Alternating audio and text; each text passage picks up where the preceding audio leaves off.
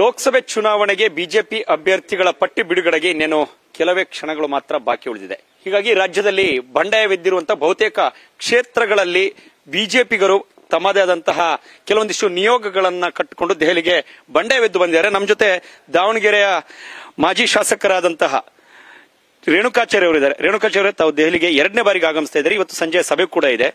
ಅಲ್ಲಿನ ಸಮಸ್ಯೆಗಳಾದ್ರೂ ಏನು ಅಂತ ಈಗ ಹಾಲಿ ಸಂಸದರನ್ನ ಬದಲಾವಣೆ ಮಾಡಬೇಕು ಅನ್ನೋದು ಕೂಗು ಯಾಕೆ ಪದೇ ಪದೇ ಕೇಳಿ ಬರ್ತಾ ಇದೆ? ನಮ್ದು ಬಂಡ ಏನು ಅಲ್ಲ. ಭಾರತೀಯ ಜನತಾ ಪಾರ್ಟಿ ದಾವಣಗೆರೆ ಜಿಲ್ಲೆಯಲ್ಲಿ ಸಂಘಟನೆ ಬಹಳ ಬಲಿಷ್ಠವಾಗಿದೆ. ಜಿಲ್ಲೆಯ ಮತದಾರರು ಸಾಮಾನ್ಯ ಕಾರ್ಯಕರ್ತರು ಬದಲಾವಣೆ ಬಯಸಿದರೆ ನರೇಂದ್ರ ಮೋದಿ ಪ್ರಧಾನಮಂತ್ರಿಗಳಾಗಬೇಕು. ಹಾಗಾಗಿ ಹೊಸ ಮುಖ ನರೇಂದ್ರ ಮೋದಿಯವರು ಸೂರ್ಯಚಂದ್ರ ಸತ್ಯನ ಪ್ರಧಾನಮಂತ್ರಿ ಆಗ್ತಾರೆ ಮೂರನೇ ಬಾರಿಗೆ. ನರೇಂದ್ರ ಮೋದಿಯವರು ಮುಖ ನೋಡಿ ಓಟ್ ಕೊಡ್ರಿ ಅಂತ ಕೇಳೋದು ಎಷ್ಟು ಸೂಕ್ತ ನಾನು ಹೇಳಿದ್ರೆ ನರೇಂದ್ರ ಮೋದಿ ಟಾಲೆಸ್ಟ್ ಲೀಡರ್ ಮೋದಿಯವ್ರು ನೋಡಿ ಜನ ಓಟ್ ಕೊಡ್ತಾರಪ್ಪ. ಜನ ಏನು ಕೇಳ್ತಾರೆ? ಮೋದಿಯವ್ರು ನೋಡಿ ಓಟ್ ಕೊಡ್ತೀವಿ. ಆದರೆ ಅಭ್ಯರ್ಥಿ ಬದಲಾವಣೆ ಆಗಬೇಕು. ನಿನ್ನ ಕೊಡುಗೆ, ನಿಮ್ಮ ಕೊಡುಗೆ ಕ್ಷೇತ್ರಕ್ಕೆ ಅಂತ ಜನ ಕೇಳ್ತಾರೆ ಅವ್ರಿಗೆ ಉತ್ತರ ಕೊಡೋಕ್ಕಾಗ್ತಲ್ಲ ಅವ್ರಿಗೇನು? ನನಗೆ ಕೊಡ್ರಿ. ಎರಡು ಸಾವಿರದ ಮೂರು ಹದಿನಾಲ್ಕು ನನಗೆ ಕೊನೆ ಚುನಾವಣೆ, ನನಗೆ ಬೇಡ ಅಂದರು. ಎರಡು ಸಾವಿರದ ಹತ್ತೊಂಬತ್ತರಲ್ಲಿ ನನಗೆ ಕೊನೆ ಚುನಾವಣೆ ಬೇಡ ಅಂದರು. ಈ ಬಾರಿ ಹೇಳಿದ್ರು.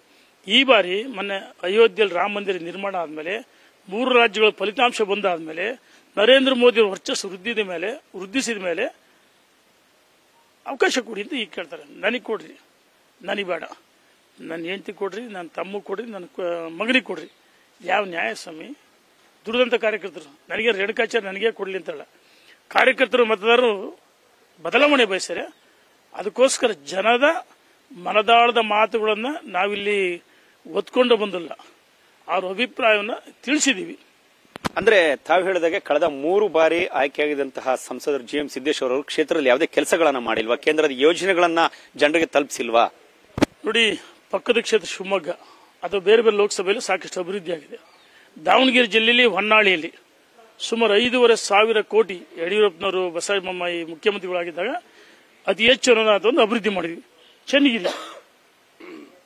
ರಾಜ್ಯದಲ್ಲಿ ಮಾದರಿಯ ಕ್ಷೇತ್ರವನ್ನು ಮಾಡಿದರೆ ದಾವಣಗೆರೆ, ಉತ್ತರ, ದಕ್ಷಿಣ ಸ್ಪರ್ಧೆ ಮಾಡಿದ ಎರಡು ಜನ ಆದರೆ ಇವ್ರಿಗಿರ್ತಕ್ಕಂಥ ಪಕ್ಷದ ಬದ್ಧತೆ, ಇವ್ರಿಗಿರ್ತಕ್ಕಂಥ ಮಹತ್ವಾಕಾಂಕ್ಷಿ ಯೋಜನೆಗಳು ಬರಬೇಕಾಯ್ತು ಯಾಕಂದ್ರೆ ಪಕ್ಷ ಬಲಿಷ್ಠ ಆಗ್ಬೇಕಂದ್ರೆ ಮೋದಿಯವರು ನಿಜ ಟಾಲೆಸ್ಟ್ ಲೀಡರ್ ಆದ್ರೆ ಸ್ಥಳೀಯವಾಗಿ ನಿಮ್ಮ ಕೊಡುಗೆ ಏನಪ್ಪಾ ಅಂತ ಜನ ಕೇಳ್ತಾರೆ ಕಾರ್ಯಕರ್ತರ ಮತದಾರರ ಭಾವನೆಗಳನ್ನು ನಾವು ನಮ್ಮ ರಾಷ್ಟ್ರೀಯ ನಾಯಕ ರಾಜ್ಯ ನಾಯಕ ಈ ಬಾರಿ ಬದಲಾವಣೆ ಸೂರ್ಯಚಂದ್ರ ಎಸ್ಸತ್ತಿನ ಸತ್ಯನ ಅಭ್ಯರ್ಥಿ ಬದಲಾವಣೆ ಆಗ್ತಾರೆ ಖಚಿತ. ಅಂದ್ರೆ ಕಳೆದ ಮೂರು ಚುನಾವಣೆಗಳಲ್ಲಿ ಜಿ ಎಂ ಸಿದ್ದೇಶ್ವರ ಅವರ ವ್ಯಕ್ತಿತ್ವ ನೋಡಿ ಅವರ ಕೆಲಸಗಳನ್ನು ನೋಡಿ ಅವರ ಮುಖ ನೋಡಿ ಓಟ್ ಹಾಕಿಲ್ವಾ? ಕೇವಲ ಮೋದಿ ಅವರ ಮುಖ ಮಾತ್ರ ನೋಡಿ ಓಟ್ ಹಾಕಿರುವಂತದ್ದು ನೋಡಿ ನರೇಂದ್ರ ಮೋದಿಯವರು ಯಡಿಯೂರಪ್ಪನವರು ಭಾರತೀಯ ಜನತಾ ಪಾರ್ಟಿ ಸಂಘಟನೆ ಮತ್ತು ಕಾರ್ಯಕರ್ತರ ಬೂತ್ ಮಾಡ್ತಿರ್ತಕ್ಕ ಕಾರ್ಯಕರ್ತರು.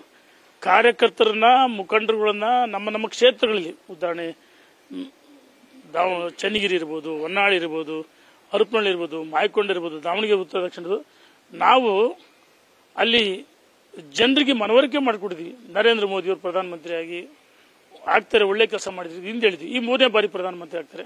ಕೆಲಸ ಮಾಡ್ಯಾರ ಯಾರು? ನಾವು ಯಾರು ಅಲ್ಲ, ಕಾರ್ಯಕರ್ತರ ಮುಖಂಡರು. ಕಾರ್ಯಕರ್ತರ ಮುಖಂಡರು, ಮತದಾರರ ಭಾವನೆಗಳಂತ ಬದಲಾವಣೆ ಆಗಬೇಕು.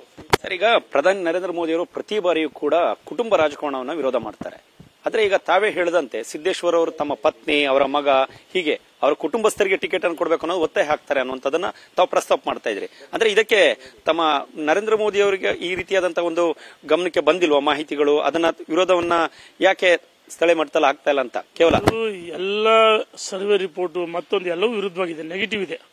ನರೇಂದ್ರ ಮೋದಿ ಅವ್ರಿಗೆಲ್ಲ ಗೊತ್ತಿರುತ್ತೆ. ನಾನು ಹೇಳುದು ಮಾಡೋಣ ನಮ್ಮ ಮಲ್ಲಿಕಾರ್ಜುನ್ ಮಲ್ಲಿಕಾರ್ಜುನ, ಯುವ ನಾಯಕರು ಭಾಳ ಚೆನ್ನಾಗಿರ್ತಾರೆ ಡಾಕ್ಟರ್ ಮಗ ಡಾಕ್ಟರ್ ಆಗ್ಬೇಕಂದ್ರೆ ಎಂ ಬಿ ಬಿ ಎಸ್ ಆಗಿರಬೇಕು, ನಂತರ M S C M D ಆಗಿರಬೇಕು. ಅದು ಡಾಕ್ಟರ್ ಮಗ ಡಾಕ್ಟರ್ ಆಗ್ತಾನೆ. ಹಂಗೆ ಸುಮ್ಮನೆ ನಕಲಿ ಡಾಕ್ಟರ್ ಸ್ಟೆಥೋಸ್ಕೋಪ್ ಹಿಡ್ಕಂದ್ರೆ ಅವನ್ನ ಅರೆಸ್ಟ್ ಮಾಡಿ ಜೈಲಿಗೆ ಹಾಕ್ತಾರೆ. ನಾನು ಹೇಳಿದ್ರೆ ನಕಲಿ ಡಾಕ್ಟರ್ಗಳು ಆಗಬಾರ್ದು ಒಬ್ಬ ಸೇವಕನ ಮಕ್ಕಳು ಸೇವಕ, ಅವ್ರವ್ರ ಕೆಪಾಸಿಟಿ ಮೇಲೆ ಅವರು ಬರಲಿ ರಾಜಕಾರಣಕ್ಕೆ. ನಮ್ದೇನು ಇರೋದಿಲ್ಲ ಅವ್ರ ತಮ್ಮ ಬರಲಿ, ಅವ್ರ ಮಗ ಬರಲಿ, ಅವ್ರ ಬನ್ನೇರು ಬರಲಿ.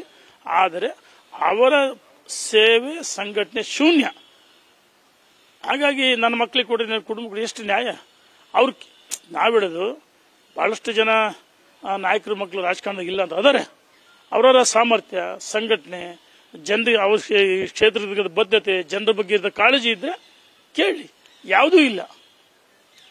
ಚುನಾವಣೆಗೋಸ್ಕರ ನಮ್ಮ ಮಕ್ಕಳಿಗೆ ಕೊಡ್ರಿ ಕುಟುಂಬ ಕೊಡ್ರಿ, ಯಾವ ನ್ಯಾಯ? ಯಾರು ಒಪ್ಪಲ್ಲ ಇದನ್ನು? ಸಿದ್ದೇಶ್ವರನ್ನು ಸಿದ್ದೇಶ್ವರನ ಹೊರತುಪಡಿಸಿ ಬೇರೆ ಯಾವ ಮಾನ, ಮಾನದಂಡಗಳನ್ನು ಪರಿಗಣಿಸಿ ಬೇರೆ ಅಭ್ಯರ್ಥಿಗಳಿಗೆ ಟಿಕೆಟ್ ಅನ್ನು ಕೊಡಬೇಕು ಅನ್ನೋದು. ನೋಡಿ, ಒಂದು, ನಾನು ಕ್ಷೇತ್ರ ಅಭ್ಯರ್ಥಿಯಿಂದ ಬಹಳ ಸೀರಿಯಸ್ ಕೇಳಿದ್ದೀನಿ ಜಾತ್ಯತೀತವಾಗಿ ಕೆಲಸ ಮಾಡಿದ್ದೀನಿ ಅಭಿವೃದ್ಧಿ ಮಾಡಿದ್ದೀನಿ ಸೇವನೆ ಮಾಡಿದ್ದೀನಿ ಕೇಳಿದ್ದೀನಿ ನನಗೆ ಕೇಳೋ ರೈಟ್ಸ್ ಇದೆ ಕೇಳಿದ್ದೀನಿ ಸೋತಿರ್ಬೋದು. ತಾಂತ್ರಿಕವಾಗಿ ಸೋತೀನಿ ಜನರಿಂದ ತಿರಸ್ಕಾರ ಆಗಿಲ್ಲ ನಾವು ಕೇಳಾಗ್ತಿದೆ ಕೇಳಿದ್ದು ಪಕ್ಷದ ಸಾಮಾನ್ಯ ಒಬ್ಬ ಕಾರ್ಯಕರ್ತ. ಅಥವಾ ಅಜಯ್ ಕುಮಾರ್ ಮಾಜಿ ಮೇಯರ್ ಆಗಿ ಸ್ಪರ್ಧೆ ಮಾಡಿದ್ದಾರೆ, ಅವ್ರಿಗಿಂತ ಬದ್ಧತೆ. ಅವ್ರಿಗೂ ಕೆಪಾಸಿಟಿ ಇದೆ. ಅದು ನಮ್ಮ ದಾವಣಗೆರೆ ಉತ್ತರ ಲೋಕೇಂದ್ರ ಕೆಪಾಸಿಟಿ ಇದೆ. ಅವರು ಚೆನ್ನಾಗಿ ಒಳ್ಳೆ ಮತ ಪಡೆದರೆ ಭಾಳ ಕಡಿಮೆ ಅಂತರದಲ್ಲಿ ಸೋತಿದ್ದಾರೆ ಆದರೆ, ನಮಗೆಲ್ಲರಿಗೂ ಕೆಪಾಸಿಟಿ ಇದೆ.